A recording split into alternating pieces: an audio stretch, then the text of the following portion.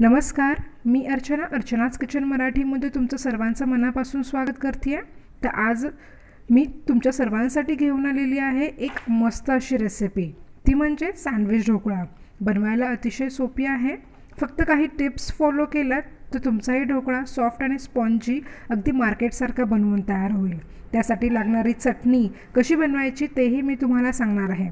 चला तर मग पाहूयात सँडविच ढोकळा. आधी बनवूयात चटणी. तर त्यासाठी लागणारे साहित्य पाहूयात. तर इथे मी एक वाटी पुदिना स्वच्छ धुवून घेतलेला आहे. त्यानंतर तीन चमचे सुकं खोबरं किसून घेतलेलं आहे. तीन चमचे शेंगदाण्याचा कूट आहे. चवीनुसार मीठ आहे. चार हिरव्या मिरच्या. त्यानंतर एक चमचा साखर आणि थोडंसं आलं घेतलेलं आहे. तर सर्वात आधी मी एक मिक्सरचा जार घेते आहे तर त्यामध्ये आता ही पुदिन्याची पानं टाकून घेऊयात. त्यानंतरनं सुकं खोबरं टाकून घेऊयात. शेंगदाण्याचा कूट हिरव्या मिरच्या आलं आणि साखर आणि मीठ टाकून घेऊयात. व हे अगदी थोडंसं पाणी टाकून आपल्याला वाटून घ्यायचं आहे. साधारणपणे एक ते दोन चमचे पाणी आपल्याला यामध्ये वाटाय टाकायचं आहे. तर इथे आपली चटणी बनवून तयार झालेली आहे. तर या पद्धतीने आपल्याला चटणी घट्ट बनवून घ्यायची आहे. चटणी ही पातळ नसावी ती अशीच घट्ट असावी. तर आता आपण पाहूया ढोकळा. तर ढोकळ्यासाठी मी इथे दोन वाट्या स्वच्छ चाळून घेतलेलं बेसनपीठ घेतलेलं आहे. त्यानंतरनं एक पॅकेट इनोचा घेतलेला आहे. तीन चमचे साखर छोटा चमचा हळद घेतलेला आहे एक लिंबू अर्धा लिंबू आहे. त्यानंतरनं चवीनुसार मीठ घेतलेलं आहे. तर इथं मी एक मिक्सिंग बॉल घेते आहे तर त्यामध्ये आता आपल्याला हे दोन वाट्या बेसनचं पीठ काढून घ्यायचं आहे. त्यानंतरनं यामध्ये आपल्याला हळद मीठ आणि साखर टाकून घ्यायचं आहे.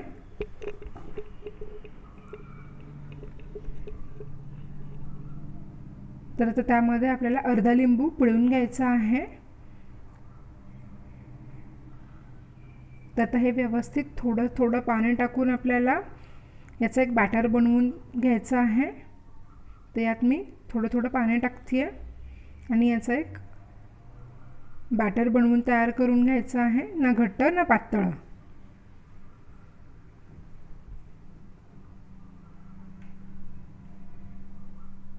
तर इथे बघू शकता की आपलं बॅटर व्यवस्थित बनवून तयार झालेलं आहे. तर या पद्धतीने त्याचा रिबन्स बनायला बनत आहेत तर आता आपण याचे दोन समान भाग करून घ्यायचे आहेत. तर मी यातलं अर्ध पीठ या दुसऱ्या बाउलमध्ये काढून घेते आहे तर आता या बाउलमध्ये मी अर्ध पॅकेट इनो टाकते आहे त्यावर थोडंसं पाणी टाकायचं आहे आणि व्यवस्थित मिक्स करून घ्यायचं आहे. तर एक केक टीनला मी तेल लावून घेतलं होतं. व्यवस्थित चारी बाजूने आपल्याला तेल लावून घ्यायचं आहे. तर त्यामध्ये हे ढोकळ्याचं बॅटर आहे ते ओतून घ्यायचं आहे. आणि व्यवस्थित त्याला टाप करायचं आहे. तर गॅसवर मी एक मोठं भांडं गरम करत ठेवलं होतं. तर त्यामध्ये मी पाणी टाकून घेतलं आहे थोडं. आणि त्यावर एक स्टँड ठेवला आहे. आणि त्यावर एक कुकरचा डबा ठेवून घेतलेला आहे. तर आता त्यावर आपल्याला हा ढोकळ्याचा टीन ठेवून घ्यायचा आहे आणि झाकण लावून याला साधारणपणे मीडियम गॅसवर दहा मिनटे वाफवून घ्यायचं आहे. तर दहा मिनटानंतरनं इथे तुम्ही बघू शकता की आपलं बॅटर किंवा ढोकळा आपला बनवून तयार झालेला आहे. तर तो चिकटत नाही आहे तर आता यावर आपल्याला ही चटणी पसरवून घ्यायची आहे. तर ही चटणी या प्रकारे घट्टच असावी.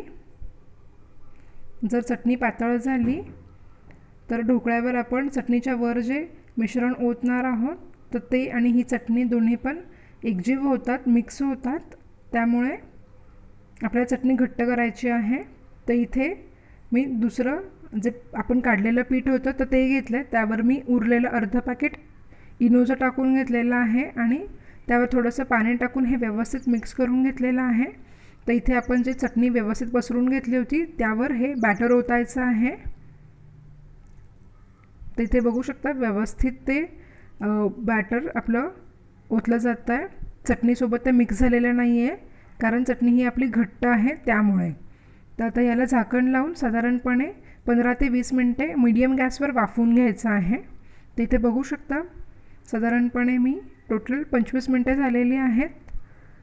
तर इथे बघू शकता टूथपिक आपली क्लीन आलेली आहे. तर ढोकळा पूर्णपणे थंड करून घ्यायचा आहे. त्यानंतरनच आपण याच्या कडा लूज करून घ्यायच्या आहेत जर ढोकळा गरम असतानाच तुम्ही तो डिमोल्ट केला तर तो तुटू शकतो. त्यामुळे ढोकळा पूर्णपणे थंड करायचा आहे. तिथे बघू शकता की आपला ढोकळा किती छान असा बनवून तयार झालेला आहे. अगदी स्पॉन्जी झालेला आहे जाळीदार झालेला आहे. तर आता आपण त्याचे पीसेस बनवून घेऊयात. तावडीपणे आवडीप्रमाणे तुम्ही इथे लहान मोठे बनवून बनवू शकता. तर आता त्यावर मी फोडणी ओतून घेते. तर एक चमचा तेल घेतलं होतं. त्यामध्ये एक चमचा मोहरी टाकून त्यात काही कढीपत्त्याची पानं टाकली होती आणि याची फोडणी बनवली होती. तर ती फोडणी आता आपण यावर व्यवस्थित पसरवून घेऊयात. त्यानंतरनं कोथिंबिरीने गार्निश करूयात.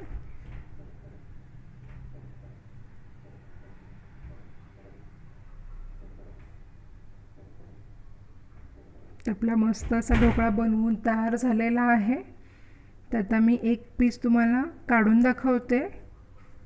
म्हणजे तुम्हाला कळेल की हा ढोकळा किती स्पॉन्जी तयार झालेला आहे. तर इथे बघू शकता चटणी इव्हनली सगळीकडे पसर पसरली गेलेली आहे व खूप असा स्पॉन्जी ढोकळा बनवून तयार झालेला आहे. तर हा ढोकळा नक्की बनवून बघा. फक्त काही सांगितलेल्या टिप्स फॉलो केल्या तर नक्की तुमचा ढोकळा असाच सॉफ्ट आणि स्पॉन्जी आणि अगदी जाळीदार बनवून तयार होईल. तर व्हिडिओ आवडला असेल तर व्हिडिओला लाईक शेअर कमेंट आणि चॅनलला सबस्क्राईब करायला विसरू नका. भेटूयात